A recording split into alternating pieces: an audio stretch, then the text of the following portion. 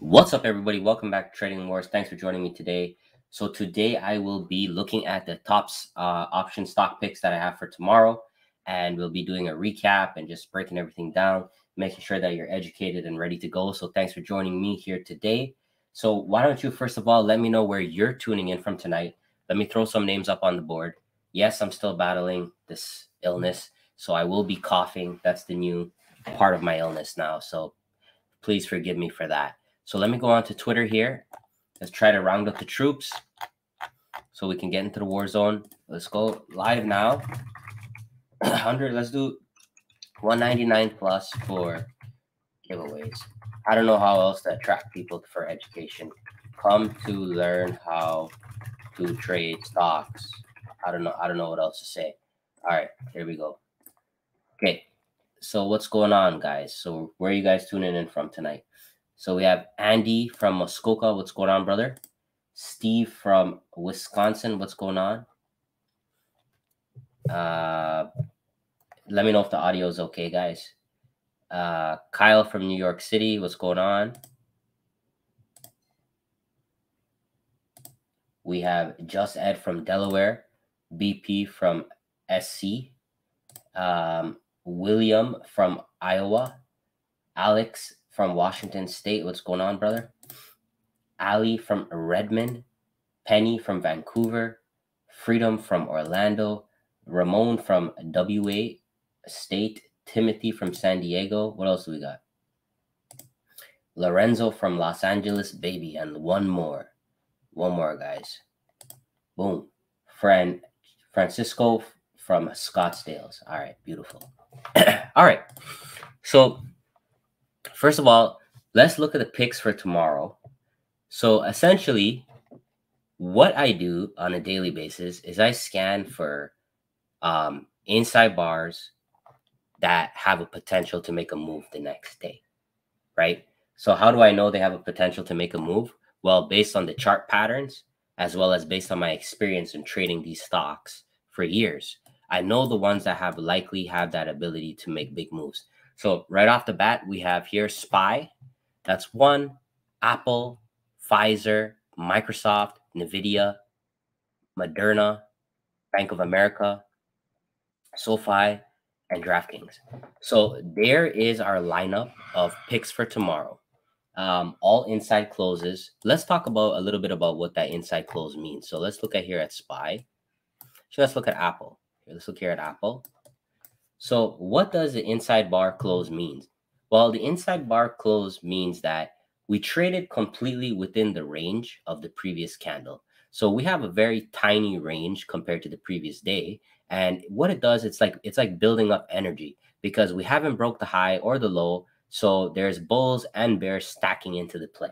No one's in danger yet. And usually what happens after these inside bars, we have uh, we have breakouts we have continuation. You could see, we just look at these charts, right? Look at the last time we had inside bars, inside bars. You see, not all the time, but generally we get breakouts. So that's what we're looking for here on Apple tomorrow. Uh, the next thing. So, what do you guys think is happening to the option premiums on Apple um, as we are getting this inside bar? What do you guys think is happening? So, if we if we had one full day of trading within a small range, we did not break the previous day's higher low. What do you guys think is going to happen to the option premiums? Yes, so they're going to be decaying, right? So this is also a method that I use to try to get options at a good deal, right? Try to get the option prices at a good deal. And matter of fact, I do have some swing trades set up in the SPY members room for SPY, but I'll talk about that in a bit. So yeah, so that's pretty much the whole concept. So what I like to call it is I like to call it preconditions. Okay because we need a reason to get into a trade. You can't just get into trade because you you feel like it or because you heard about it on the news. You want to have a reason. For me, I'm looking for a specific pattern. So whether it's an inside close, outside bar, holy grail, nirvana, so the patterns that I talked about yesterday on Sunday Stock Talk, I want those preconditions first in order for me to get into the trades because it gives me an edge over time because I know how to trade those type of patterns. So let's use Apple as an example. So going into tomorrow. So let's go down to the five minute chart. Let me get you guys set up with kind of what you what you should have on your chart, right? So you need to have the TradingWarz indicators. Okay, they're for free. So just make sure you go right here. All right, you go to my homepage, just add these. Even if you don't use them actively, it'll help guide your trade. So you just come down here, free TradingWarz golden indicators. Okay, you could literally just add that to your chart for free. So let me, and then if you don't find it there, just go to any one of my other channels that focus on the specific bars and you can just get them here. Okay, so this one is probably a lot more cleaner. So the other thing that you want to do is you want to have the previous day's high. So let me just take that. Previous day's high, previous day's low marked out just for a reference, right? This will help you with the triggers as well. Okay, you want to have the high and the low marked. And what you want to do is you want to stack a fib, stack a Fibonacci from the low to the high like this. Okay. So how many of you, how many of you knew that you had to draw that in the intraday Fibonacci? How many of you guys knew that? And what we're going to do is we're going to take a line and we're going to put it right at the halfway point. We could put this in yellow. So now we could draw, we could get rid of the, the fibs, but the halfway point is a very important point on the chart. Okay, very very important point on the chart because it's a it's it's the midway. It could result in the bulls and the bears losing control. All right, so we have these three levels. Now, how do we actually take the trades? So how can we take the trades tomorrow on Apple? How can we take them? I'm going to show you guys some examples today of the picks from yesterday. But so for those of you that have the book, the options drill down book, okay, what are the methods that we use in order to take the place? Okay, what are the methods that we use? I'm going to write it out here again. So, opening range breakout, fractals, Fibonacci, triggers. So these are the four things that we're going to be looking for tomorrow. So quite simply, right? Like we could use, we could let the first five minute bar close and then we could take the opening range up breakout of that. With the orb, we can also do it. We can do it on the 5, 15, or the 3 minute. Those are the ones I like to focus on. The fractals, that's where the indicators help you because it will highlight anything for you. So the fractals is like if we find another inside bar setup here, we can take that. The Fibonacci, right? Um, we have the previous day's range, we have the extensions, and then we have the triggers. The triggers is probably the most simplest way. If it breaks the level, short breaks the level, go go long. So that one's pretty simple. So that's what we're trying to do. We're looking at the daily chart here, and we have the thesis that with this inside bar close that we could break out of the range. We don't have to, but there's a good chance. So that's the whole point of doing that. So hit me with a two if you're following me so far. So I already did the scan and I picked the ones that I are I'm familiar with with my experience in trading, the ones that I've traded in the past that tend to move. They don't have to by any means, but we want to take the ones that give us the best shot. Right? So now let's go ahead and review what we had today. All right. So the first one is JPM. I'm going to hit the replay right here. You guys can see we had that inside bar close. I'm going to go down to the five. Okay. So we had that inside bar close for JPM. So now we're looking for our entries. Let's see what we get. Where is it? All right. So first five minutes right there. Okay. So we could take the opening range breakout right off the bat, right? So here we go. Here's the first five. Take the opening range breakout. You could see it breaks the high right there. All right. Boom. Beautiful. That's clean. That's clean. Okay. So that's your opening range breakout, breaks the trigger, bam, targets achieved. Man, hit me with hit me with a three if you guys like that. I like that, man. I didn't even I didn't even realize that that opening range breakout was that powerful, but I love it. Okay, so now let's take a look at the daily chart. So this right here, you can see. Remember what we're trying to do. We're trying to see if that inside bar it can break the range, and it did. Because if you look closely here on the five, it broke the high. Okay, beautiful. See that? Now I'm going to show you guys something that I do for my members. So for my members every single day, I post sample trading plans that they can use. Okay, so I'm going to give you the trading plan for J JP Morgan. So the it was 169.82 by 169.07. So guys, I do a lot for my members. I really try a lot.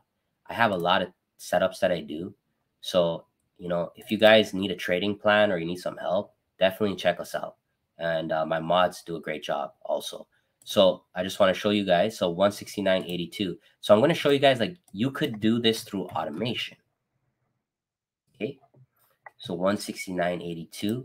The stop is 169.07.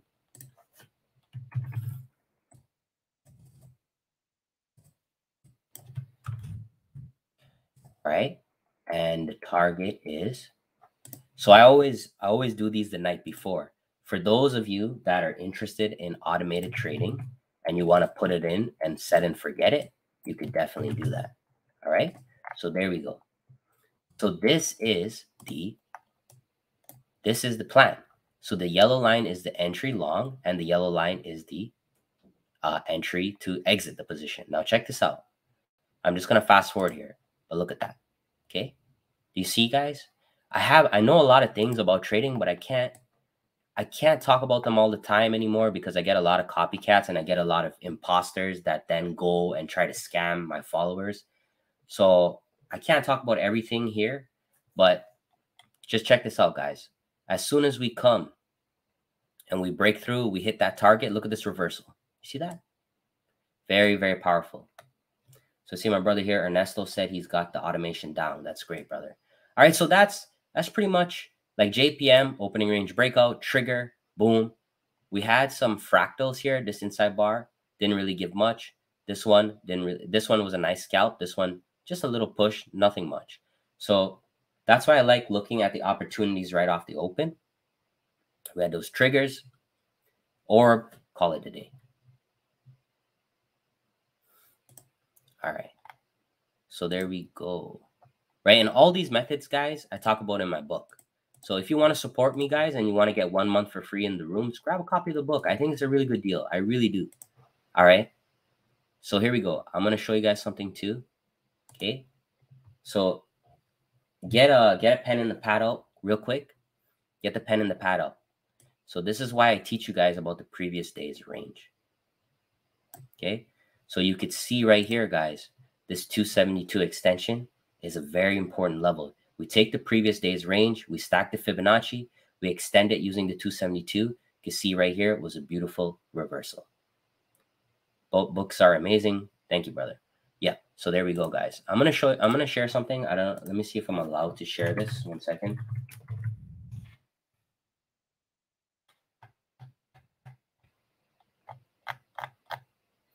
So what I'm to share here with you guys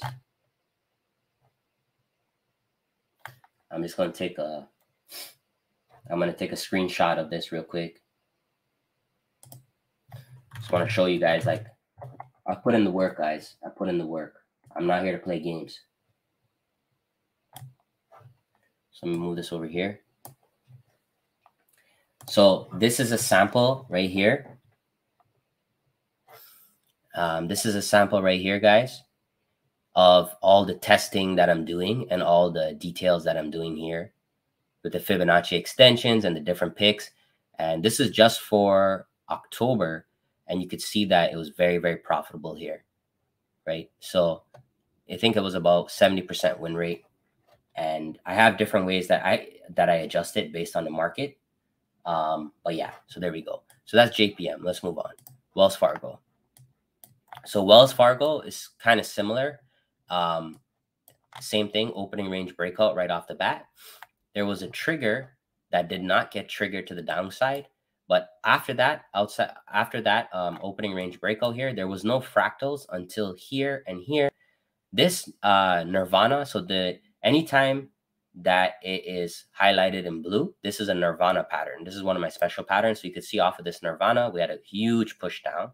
If I stack a Fibonacci from the high to the low of the first part of the day, we could see right here, we tagged the 618, came a little bit in deeper and then pushed back.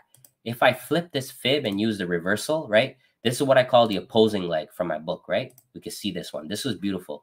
So when you have the Fibonacci lined up with the pattern, it makes it very powerful. So you can see right here, this short was very powerful because it was the this is what we call the opposing leg. We had this push down and the pullback right on the 618, guys, like almost to the penny.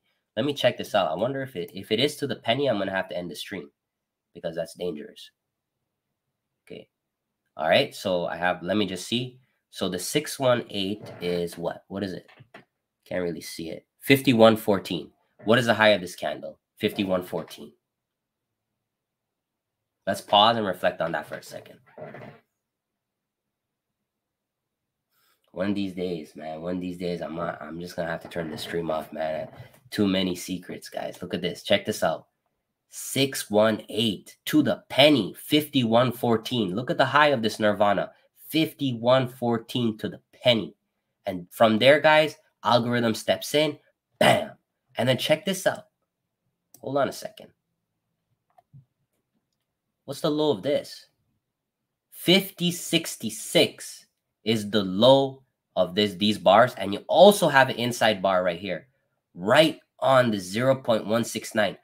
Perfectly 5066, guys. If this does not convince you about algorithm trading Fibonacci, I don't know what will. Like it's it's almost impossible to get this type of accuracy. It's almost impossible. Only way you can get this accuracy if it's algorithms. It's not me. It's not you. It's not your grandmother that's moving the market. It's not. It's robots. Learn to trade like an algorithm, guys. That's why I wrote the book. That's why I wrote this book on fibs right there. That's exactly why. This is what inspired me to trade all of this. Anyways, right? So just remember, this is how we normally see with the fibs, right? let me just you you can get the pen and the pad out again if you want but normally we have the morning leg okay and then the the morning leg is going to line up with the opposing leg there's always going to be an opposing and there's going to be an afternoon always these three are always going to happen. The morning leg is the first pullback. It might it usually takes between 30 minutes to an hour. You have a push either vertically so either up or down and then from that you start to pull back. So the first part of the of that is going to take it from the low to the high in this case right? Because you could see we went up. So now this is the normal morning leg so the morning leg the normal one here that push up pull back down but anytime you have the morning leg you will also have the opposing leg and the opposing leg is very profitable as well okay so these are all great trading opportunities. They don't have to work all the time, but look at these. When they work, you can catch things to the penny sometimes. And if you catch it to the penny, then you have an amazing opportunity to make some profits. All right. The opposing leg is always going to be the opposite of the morning leg. So now that pullback right there, okay, the pullback of the morning leg right there, you're going to take it from the high to the low now and do the flip. Okay. And then the last thing will always be the afternoon leg, which is completely taking the range of the day. So that's the high and the low. You can see right here around the 786, which lined up with the extension here is where we pop. All right. So Penn, I'm gonna go through these ones quickly here because I gotta I gotta leave. Um, we had right off the bat, Holy Grail, a lot of chop and Penn, opening range breakout. Nothing worked right off the bat, but you could see we start, we hit the trigger, uh, which was right around here, this blue line. The trigger came in. Once that trigger got filled right there, guys, boom, beautiful flush down. So fractals, orbs, everything was really tough on Penn out off at the open, right? But once you get that trigger and it hits, keep your stop in a safe place, good to go. Okay. How to draw in real time. Watch my videos. Watch my videos on YouTube. Um, and then the last one, Morgan Stanley, very similar to JP Morgan. We had the break right here, opening range breakout, fractals, not so much heat. Okay. We had, let's look at the morning leg Fibonacci together. and the opposing. Let's do that together. So we go right here, boom, high to low, 50% retracement. You see that? Okay, with the inside bar, nice pop. And then let's draw the opposing. The opposing to the opposing today was where the money was at. Look, you could see here, push down, pull to the 618, boom. Had a lot of inside bars there too. So I would say that JPM was definitely the easiest. Wells Fargo was great too. Penn was difficult besides the trigger. Morgan Stanley was was fair. Um, not the like easiest of days for sure. Um, so hit me with the hit me and not yeah exactly. I was gonna say that. So now Morgan Stanley closing with a very rare double inside bar. So keep your eyes on that. That's going to be a very important pick going in tomorrow. That double IB close. So that's this is how a double IB looks. So you have a big range, a smaller range, and then an even smaller. So you can imagine the option premiums getting destroyed. Let me go to SPY real quick. I just want to give you guys an update on what we did today. So right off the bat, guys, with SPY, we had two trades this morning. We had this Holy Grail that went for a winner. This one also. So we had double Holy Grails, which is very rare. You don't really see that. And then if we just take the morning leg Fibonacci on the fib, you can see right there, here was the 618 with an outside bar confirmation. So we had a great, um, great, great day on SPY in the room. Let me just show you guys right here so you see it. SPY members lounge is here, and then the setups alerts are here. So this is it. So every morning you'll see uh, I'm in here with my mods, and then we talk about the setups, etc., etc. Okay. I also have a swing trade ready to go. If you're interested, you want to sign up for anything that I do, guys. I do recommend getting a one of the books, either the fibs or the drill down, so you get one month for free in any one of the rooms of your choice.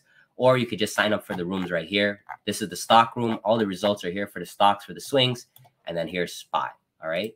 Um, but yeah, so SPY was pretty clean. Um, definitely closing with an inside day, but we still made money on an inside day, which is good. And now we have this inside bar setup going into tomorrow. Um, but yeah, otherwise than that, hit me with a five if everything makes sense. And uh I think we are good. Said DD, thanks, bro. Just bought the fib book.